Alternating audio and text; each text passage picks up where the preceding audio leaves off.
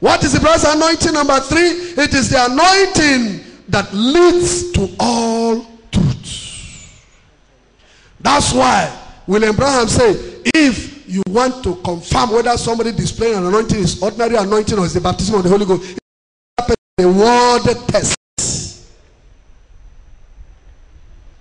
If you show the person something he's doing wrong in the Bible and he refuses to repent, that person is not converted anything. He's only using the anointing of the Holy Ghost. He has not received the baptism of the Holy Ghost. He will lead you to all truth. John 14, verse 17 says so. John 16, verse 13 says so. Of course, verse 26 also of John 14. John 14, verse 26. Number four, what is the bride's anointing? It is the power to overcome in that age. And that power to overcome every age had the, the antichrist spirit.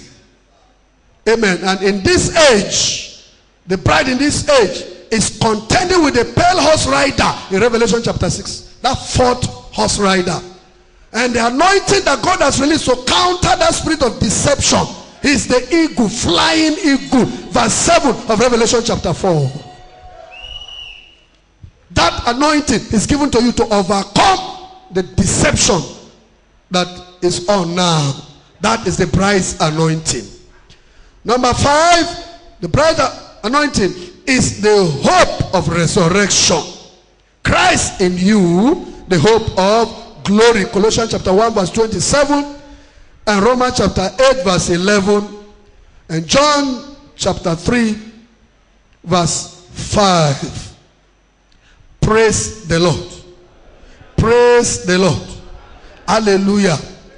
The hope of resurrection. If you don't have the Holy Ghost, you can never go in the rapture. You, there will be no resurrection for you. The first resurrection, which is the resurrection of life, is only for those who have received the Holy Ghost. Any other person, you face the second resurrection to meet the Lord in the white throne judgment in Revelation chapter 20. And it is not to save you, it's to give you reason why you are entering that lake of fire. That's why he said there will be weeping and gnashing of teeth. So you get the anointing that gives you the hope of glory. Because Romans 8 verse 11 says, if the spirit of Christ, the spirit that raised up Christ from the dead dwells in you, they say you will quicken your mortal body by that same spirit that dwelleth in you.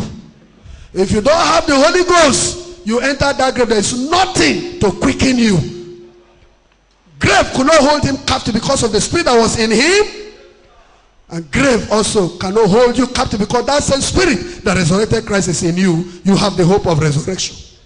That's why we're not afraid of death. Praise the Lord. Number six, what is the bride's anointing? It is the anointing that comforts. But the comforter, which is the Holy Ghost, which my Father will send in my name. Why will you have a comforter?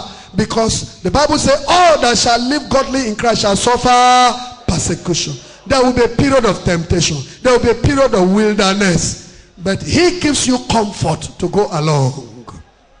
That, and we need it in these hard times to comfort us. Is the great comforter. Number seven, what is the bride's anointing, it is the spirit of adoption. Hey, Romans 8:15 says so. And Romans 8 verse 9. Romans 8 verse 9 says, if you have not the spirit of Christ, you are none of his. He has not given us the spirit of fear, but he has given us the spirit of adoption, whereby we do what? We cry, Abba, Father you become his son by adoption because you don't deserve it. You were lost and gone. You belong to Satan. But his mercy found you and made you his son. Not even his servant, but his son. It's a spirit of adoption. You become a heir and joint heir for that matter with Christ Jesus. Number eight, what is the bride's anointing? It is the seal until the day of redemption. Once you are saved, it gives you the baptism of the Holy Ghost. The Bible says, grieve not the Holy Ghost, Ephesians chapter 4 verse 30. Whereby you are sealed unto the day of redemption. That's why we say once you are saved, forever you are saved. And you are not saved until you have received the baptism of the Holy Ghost. Number nine, it is the baptism of the Holy Ghost, not just anointing. That is the bride's anointing. Because the Bible says in Romans chapter 8, reading from verse 28, 9 and verse 30, he said, Whom he did foreknow, he called. I mean, those whom he predestinated, he called. And those he called, if he's the one that called you, he will justify you. The process by which all your sins are washed away. Amen. And then he will glorify that person. Glorification there is the baptism of the Holy Ghost. The finished work of salvation is the baptism of the Holy Ghost. Number 10, it is the wedding garment. Hey, it is the wedding garment. That parable in Matthew 22, verse uh, 1 up to verse 14, read it where the gospel, the story goes that they went by the highway when they were rejected. Then he said, Go by the highway and compel them to come, and they gathered both good and bad. And the whole the, the wedding uh, uh, feast was furnished, and the governor of the feast came for inspection and saw among those that gathered one man there did not have the wedding garment. And he asked him, How did you find yourself here without the wedding garment? What was his response? He was speechless. And I have explained this several times. The denominational Catholic, Anglican, they will have something to say because they will continue to argue with him. So that person is not a denominational person. That person is somebody listening to me now. That person is a member of this church. While others were getting ready because there is nothing that the rest have had and got themselves ready that you didn't hear. So you will have no excuse because you had everything. But you did not have the wedding garment. That song we sang, you are the one that will say, Oh, had I known. Certainly. It's not a prostitute outside. That is why the Bible says he was speechless. Oh, yes. But Revelation chapter 19, verse 7, 8, 9. The bride has made herself, and to her is given that she should be arrayed in white linen, clean, white. And that dress is not the wedding dress you wear here on your wedding dress, in your wedding day. It is the righteousness of the saints in this age. There's a righteousness of the saints in this age. Righteousness is the posture of acceptance before God. The life pleasing before God. Following His expectation in every age. And the dressing of here, it includes spiritual dressing, physical dressing, because it is what is inside that reflects outside. It is, you have a heart of prostitution. Sister, that is why you would like to dress and show your sacred parts. It's inside your heart is a prostitute. No, that's the truth. Because every lady is conscious of how you sit down, of how you dress. You know, certain parts should not be seen. And since we say dress very well, it's okay, I will not be naked, but I know what to do. Then they wear body hug, themselves, so that this one come on. So they say, we wear long skirt, then go see long skirt. When you see them, you think they are mommy water. Human body here, fish. See.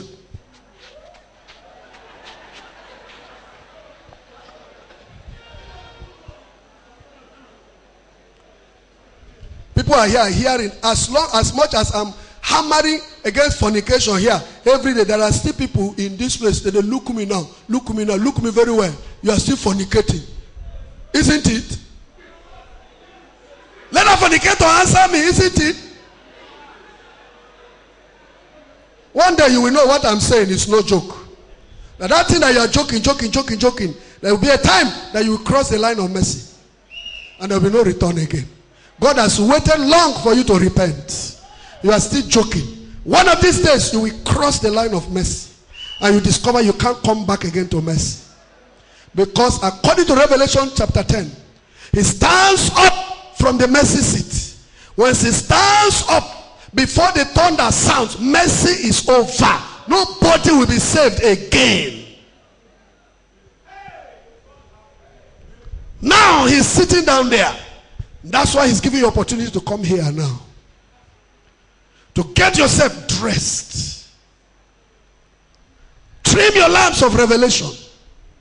You know the tongue you are speaking is not the Holy Ghost tongue. You know now, you know that the tongue you are speaking, that they told you you are saved, you know you are not saved. Your pastor told you you are saved, but everyone that is saved knows he is saved. Because the Bible tells us, Amen. The people that will not enter and you read it and you say fornicators will not make it. A female will not make it. Lesbians will not make it. Homosexuals will not make it. Drunkards will not make it. Idolaters will not make it. They are written there and every one of them you are guilty of them. And your pastor is telling you you are going to heaven. God loves you. You know and you are saying yourself oh right on pastor. Right on pastor. You know you are not going to heaven. You know it. You know. Ahab knows that he is not right with god that is why he said, Jehoshaphat, you dress like a king, I'll be behind. That is the reason why you are afraid of death more than anybody else. Because you know if you die, you know where you're going. You know. You know, you know. You know. The worst thing that has happened to you in your life now is that you came to Bride Assembly, you had this thing I'm saying now. You have no excuse again. And that's the last opportunity God may be giving you. Especially in these perilous times where nobody knows when you will die. You don't know when this serpent sits. We go and carry their suicide bomb and meet with you. The wisest thing for anybody to do now is to make your election, calling an election, sure. Many are called, few are chosen. When the Bible says strive to enter, why did it say strive to enter? I gave you this example. What? I said uh, uh, the message I preach, gospel according to nature. I gave one example among other examples. How come God designed that before a man can pregnant a woman with one seed, one child, how many sperm cells must you have? How many? Eh? 50 something million. If you have only 20 million, you cannot pregnant a woman. Can't you people think, think something? God is speaking the gospel. Many are called. 50 million. Where are they going to? I'm going to heaven. The door is very narrow. So the first person that strive to enter, the first one that enter, a time is going to come, others are struggling. The door is closed. Piam. Only one out of 50 million. Can't you learn something? When Jesus says, strive to enter.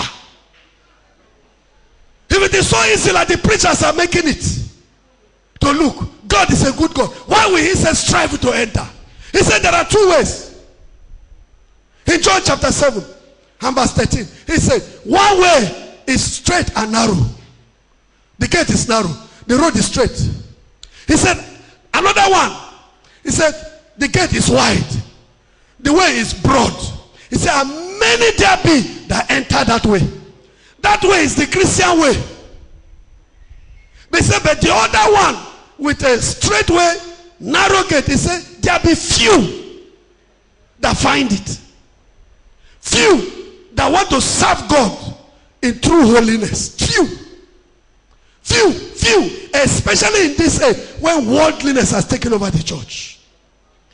That is why we need overcoming power.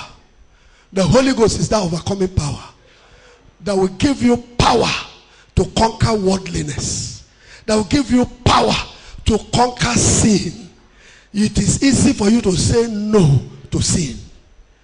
That will kill that serpentine nature inside of us.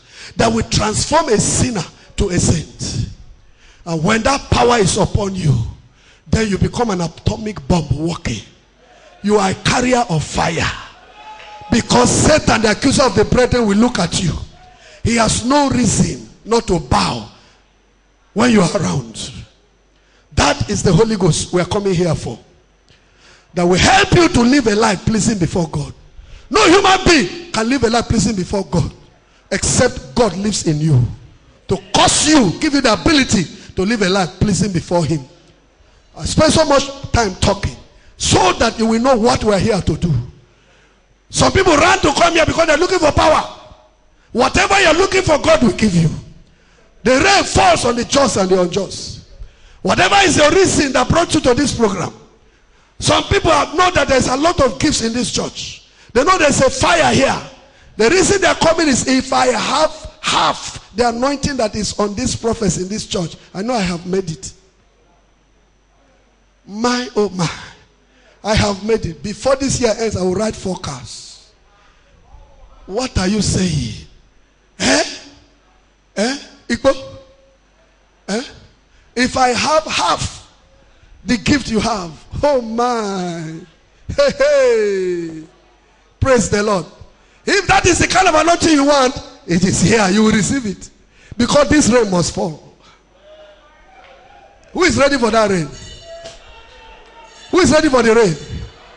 Stand up if you are ready for the rain.